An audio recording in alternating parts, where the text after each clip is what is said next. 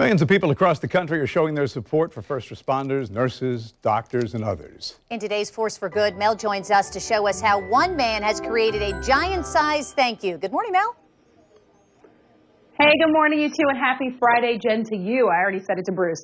You know, the idea that this man could even do this is pretty amazing. Stan Herd, an artist from Kansas, wanted to give frontline workers a bouquet of flowers. Sounds nice, right? But we are not talking about any ordinary flower. Check this out. His bouquet is supersized. As you look overhead, it takes up half an acre. So you can see the vase. It simply says, thank you. They just get up every day and go put themselves on the line. I mean, it's, uh, it's heroic to me. So um, there's not a lot that I can do out here. It's not just from me, it's from, uh, from my kindred spirits here from everyone. So Herd has been creating crop art for 40 years.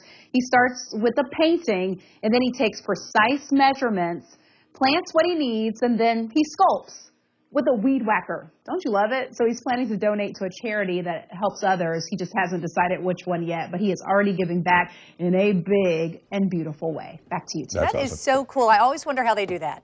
Yeah. I mean, it takes a talented eye and exact measurements, too. Right?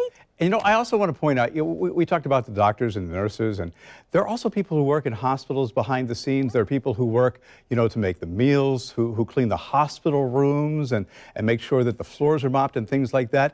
And we have to say thanks to them, too, because their jobs are crucial in making sure that everything is sanitary and clean. And, you know, I, I just want to let them know that we appreciate them as and well. And their families. And their families, too, yeah, because they put them at, themselves at risk of exposure. So, big thank you.